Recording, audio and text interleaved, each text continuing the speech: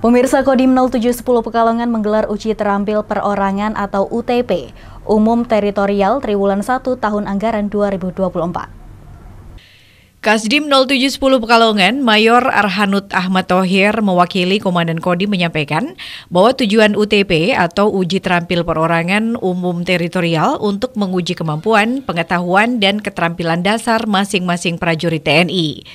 Kegiatan ini dilakukan sesuai dengan pedoman umum prajurit dengan harapan agar setiap prajurit mencapai standar umum teritorial secara perorangan yang akan mendukung pelaksanaan tugas pokok prajurit di wilayahnya masing-masing sebagai Babinsa.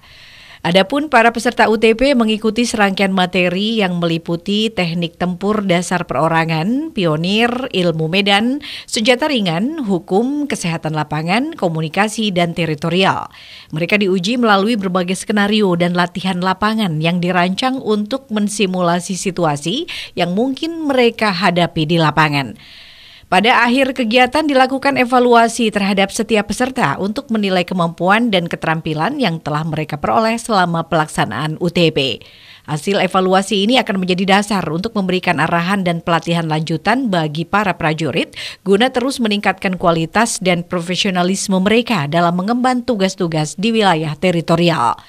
Dengan digelarnya uji terampil perorangan atau UTP Umum Teritorial Triwulan 1 tahun anggaran 2024, diharapkan setiap prajurit Kodim 0710 Pekalongan dapat meningkatkan kemampuan dan juga kesiapan mereka dalam menghadapi berbagai tantangan di wilayah teritorial dan dapat mengaplikasikannya dalam setiap pelaksanaan tugas serta dapat meningkatkan efektivitas mereka dalam menjalankan tugas-tugasnya sebagai garda terdepan dalam menjaga keamanan dan ketertiban korban di wilayah binaannya.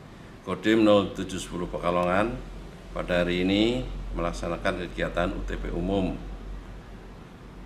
kecakapan 2 sampai dengan 8 bidang teritorial pada tahun anggaran 2024 yang bertempat di Komplek Makodim 0710 Pekalongan selama tiga hari hari ini sampai dua hari berikutnya ke depan. Robani Batik TV melaporkan.